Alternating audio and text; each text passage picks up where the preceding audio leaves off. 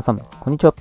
白熱フットボールタクティクス第20回目の放送になります。本日もナビゲーターは前節に引き続き中がお送りさせていただきます。ちょっとタカさんがね、忙しいようですので、今節第11節徳島ボルティス戦、振り返っていきたいと思います。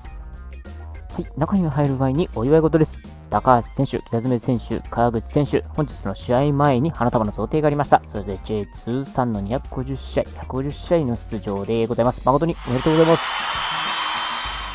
はい、ということで、第11節、徳島ボルティス戦、えー、中身見ていきたいと思います。まず結果から、5対1、柏レイソル勝利でございます。3連勝。いや、調子いいですね。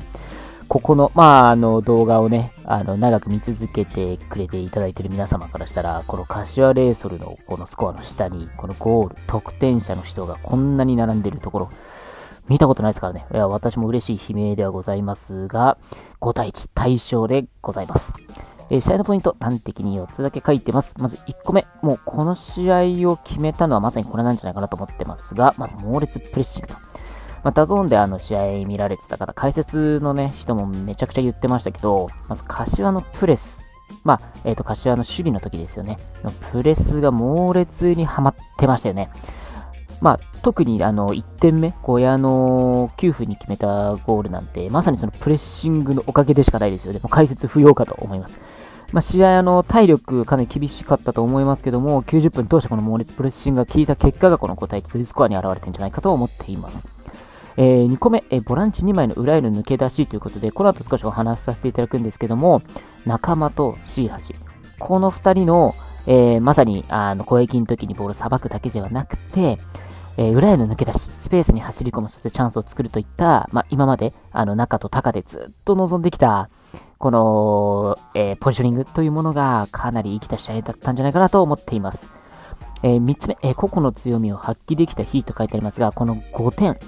まさに、えー、この先発、まあ、途中出場の選手も含めて、個々の強み、スペシャリティというものを十分に発揮できたからこそのスコアなんじゃないかなと思っています。えー、小屋の64分のゴール、まさに裏へ一瞬で抜け出して、後ろから来たボールをゴールに叩き込むであったりとか、まあ、以前から、あの、北爪のね、と、まあ、今回は高橋俊輝がウィングバック出てますけど、ここの前後のね、運動量とか、また、江坂のね、あのー、ボールの収めとか、まあ、それぞれの個々のスペシャリティが、もう存分に発揮できたからこそ、まあ、連動でね、結果的には、えー、このスコア、対象できたんじゃないかなと思ってます。で、最後、これ、全員サポーターの皆さんが待ち望んできた、いよいよブラジル人、新加入選手がデビューしました。ハウルとアンジェロッティですけども、まあ、後半最後お試しというところでコンディションも整ってなかった、まあ、中ではあるとは思うんですけども、ついに日立大でデビューしました。まあ、ハウル、すごいボール収まるんじゃないかなとか、アンジェロッティ足元結構うまいんじゃないかなとか、まあ、コンディションが上がってきたら今後すんごい楽しみになるんじゃないかなと結構ワクワクを、まあ、この試合展開もありましたから思わされたんじゃないかなと皆さん思いますけどもいかがでしょうか？はい。ということで、えー、このページではもう一個だけちょっと突っ込みしたくてですね、この支配率とパスの数字、これが今季の柏レースの今後、うまくいく試合であられる数字なんじゃないかなと思っています。ボール全然支配してないですし、パスも全然数少ないです。という中で、まあ、相手にボールを回させて、かつ猛烈なプレッシングで奪い、そして速い展開でカウンター。この方がハマればこんなスコアで勝てるんだよということを、この試合、今節、証明したんじゃないかなと思っています。なので、次節以降もね、この試合、この猛烈プレッシングが機能する試合っていうのを期待しながら見ていきたいかなって思います。皆さん、いかがでしょうか？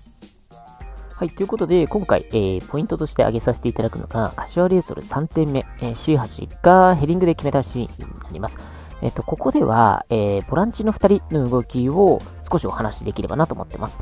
えー、ここのシーンは、えー、高橋俊輝が、えー、江坂を追い越して抜けてきて、江坂がヒールで高橋俊輝に戻したシーンから始まります。で、ここ、高橋俊輝すぐ江坂に叩きます。で、この時に、今までの仲間であれば、もう前に行きたいという推進力、まあ、強みですけども、この江坂にボール入った時に絶対このスペースの裏に抜け出そうと多分していたんじゃないかなと思ってます。まあ、以前からその裏に抜け出しっていうのは積極的にやろうとしていたんですけども、今回何が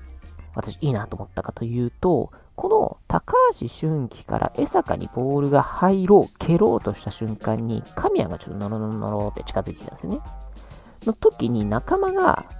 その神谷が動き出した瞬間に、神谷のことを見ていてですね、あ、ここのスペース、自分が行くべきではないと。ここに突撃すべきではないということで、ここの横のスペースを確認して、まあ、C8 がここにいるというのと、えー、右には北爪がファーで待っているという確認をした、首振りで確認をした上で、ここ、いわゆる少し我慢して、次の展開に備えたポジショニングができていた。まずここが、あ、仲間やっぱボランチとしてかなり成長しているんじゃないかなと思わさせてくれたシーンだったかと思います。で、この後、えー、実際に江坂にボールが収まった後、神谷が寄ってきましたが、ここに神谷には通らずに、ここから仲間に入ります。で、えー、ここからなんですけど、この時、仲間にボールが入った時に、C 橋が、実は、ここのボールの受け渡しのやっている間に、ここものそのそのそーって中に入ってきてるんですね。で、ここ、仲間にボールが入った瞬間どうでしたかっていうと、C 橋がここの裏のスペースに走り込んだんです。一方で、ここの中にいた小屋もこのスペースに走り込もうとしたんですね。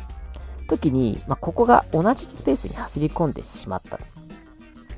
というのを C 橋が気づいた瞬間に、仲間は確認していたファーの北爪に大きいボールを入れます。で、ここ、ボールを見送りながら、ここのスペースも同時に、あ、ここではないと判断した C 橋が、この開いていた北爪、寄せられた相手ディフェンダーのこの空いたスペースに瞬時に走り込んだんですね。で、結果、ヘリングで折り返して、そのままズドン。というように、この C 橋が、もう積極的に攻撃に関わろうと、もうシュートまで持っていこうと動きをして、1段階目。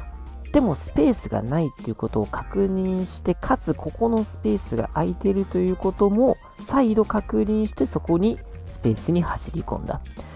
まさに今まで、まあ、視野が広い C 橋といえども、まあ、こういったその裏への抜け出し、ないしはこういう決定的にゴールを狙えるスペースに走り込んで実際にシュートに持ち込むというところ、今までの試合なかなか見られなかったと思う点なので、やはり C 橋っていう選手はこういうまあ、スペースをあのうまく見つけ出す、そしてそこで決定的な仕事ができる選手なんだと。いうことが、このシーンに現れてるんじゃないかなと思ってます。という意味で、まあ仲間も、あのー、自分でゴールを決めた時に裏へ抜け出して、一人で持ち込んでゴール決めてましたけど、C 橋にも、こういったスペースへ走り込んで、ゴールを決めることができる。そういった能力を持った、アビリティを持った選手なんだということが、まあ、今後の期待をさらに大きなものにしてくれますし、今後もこの仲間 C 橋、またはここにブラジル人選手の新加入のドッジであるとか、まあ、削り屋のヒャルジソンとか、どういった噛み合わせでね、こういったポジショニング、走り出しということができるかっていうのがかなり見応えになってくるのではないかなと個人的に思いました。はい、最後に次節予想を立て記して終わりにしたいと思います。次節第12節はアウェーでベガルタ仙台仙台相手となります。えー、2020シーズン、昨シーズンは相性いいですね。結構対象をしています。で、えっ、ー、と、試合のポイント3つだけ書いています。1つは新戦力メンバーの出場はいかにということで、えー、今節から、まあ、実際にアンジェロッティ、そしてペドロハウルがベンチ入りメンバーして出場をしています。また、ドッジとね、あの、サントスディフェンダーの、また新戦力メンバー加わりましたというところ。で、かつ、えー、ルヴァンカップとの兼ね合いもあって、かなり過密日程で、今度アウェーで遠征もしなければいけないというところで、まあ、どうやってローテーションをメンバーをしていくかというところに、このブラジル人選手たち必ず噛んでくるかなと思っています。という時に既存のこのメンバーとその戦力、どういう融合を見せるか、まあ、こういったところがね、結構メンバーの、ね、スタメン争い、ベンチメンバー争いっていうところ見応えあるかなと思っています。二つ目、これももう完全過密日程を懸念しているというだけなんですけども、いわゆるこの猛烈なプレッシングで相手にプレッシャーをかけるこの試合の運びをする柏レイソルにとって、この連戦ってかなり辛いものだと思ってます。だからまあコロナの状況もあって、かなり厳しい、まあ、チーム編成を、ね、組まなければいけない中で、この走るサッカーというのが本当に90分間試合を通してできるのか、そこがちょっと心配だなと思っています。それさえできれば、今節のような試合の展開に持っていければ絶対に勝てるとは思っているので、その走るサッカー続けられるかっていうところは少し懸念しています。で、最後、えー、攻守の切り替えはっきりと書いてあるんですけど、これ、ベガルタ仙台の直近の札幌との試合少し見たんですね。で、その時、仙台って、今、あの、J リーグでかなり苦しんでますけど、決してそんなに弱いチームではないんですね。個人的な感想なんですけども、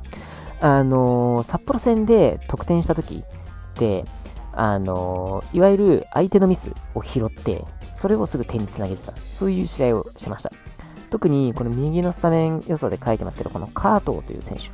この選手かなり、あの、ミドルレンジからもいいシュートを打ってきます。ね、なので、まあ、今まで私の個人的にはディフェンダーのところでもったいないなってこの解説で言ってきたのは、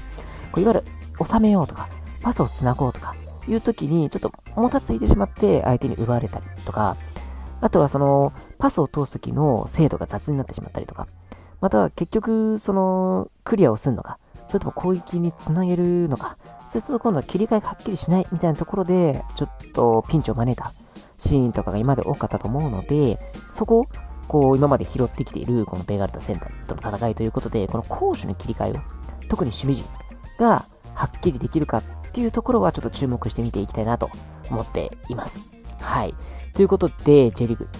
柏レイソル3連勝、今節で遂げたんですけども、ね、これからどんどんどんどん新戦力と一緒に、